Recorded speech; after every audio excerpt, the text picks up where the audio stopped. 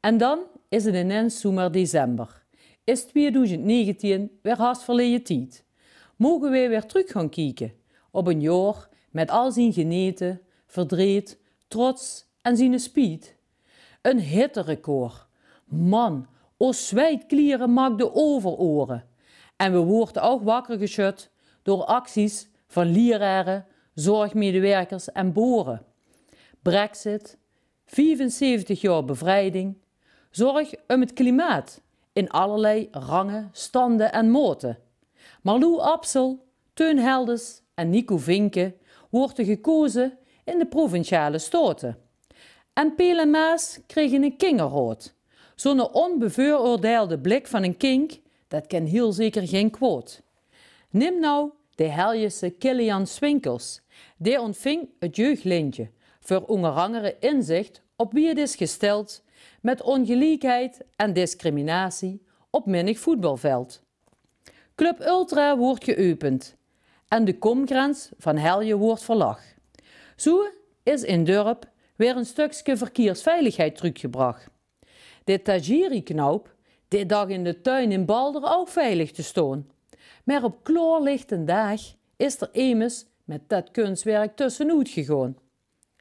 800 jaar bestaat Boulder en dat leeft in volle glorie, want met het winnen van de cultuurprijs van Pelemaas vierde Barlo leeft een meer dan verdiende victorie.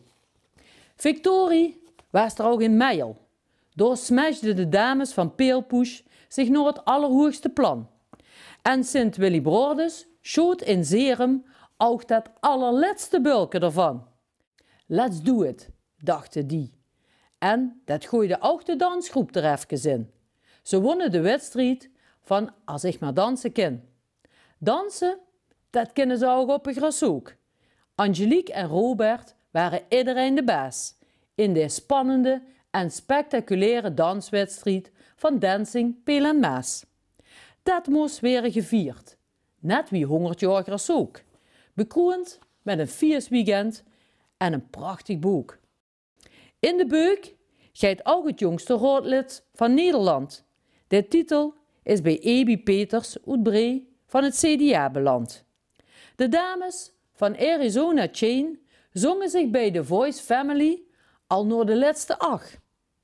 Helaas heeft 2019 voor en Bruis niet zo'n goed nieuws gebracht. Minder goed nieuws was er ook in Kapel voor Masterlight. Verschrikkelijk als die levenswerk zo in vlammen opgaat. Levenswerk in onderwijs leverde de nieuwe school de Nationale Onderwijsprijs. Dat passie beloond wordt, is van een prachtig bewijs.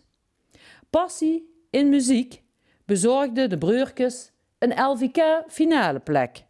En het voormalige VMBO-college bracht voor mensen een schoen beschermde woon- en leefstek. Peter Fleuren vertrok bij de NLW. En in Beringen was het voor de bouw van Beringen buiten nou eindelijk oké. Vijf keer Beringen blieft een van de meest fantastische happeningen, waarbij mensen zich op een sportieve en gezellige manier verbingen. Verbingen in alle kernen waar ze te zien op het witte doek.